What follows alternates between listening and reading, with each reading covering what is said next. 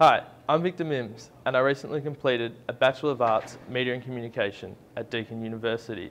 I have majors in film and journalism. I've been involved in independent production, TV studio work, broadcast media and public relations projects. I worked in Deakin's TV studio creating a live to air program. My communication and management skills flourished in the stressful environment that a TV studio brings. I recently worked on a series about Melbourne's Muslim community and the effect terrorism is having on Australia. I've also done sports journalism, interviewing Ricky Nixon and two former AFL players. I recently completed an internship at Repco. I managed over 100 employees participating in Repco University's training program. I was also in charge of Glue News, an internal magazine distributed to over 300 stores across Australia. I'm hardworking, passionate and a good communicator and that is why I believe I'm the perfect candidate.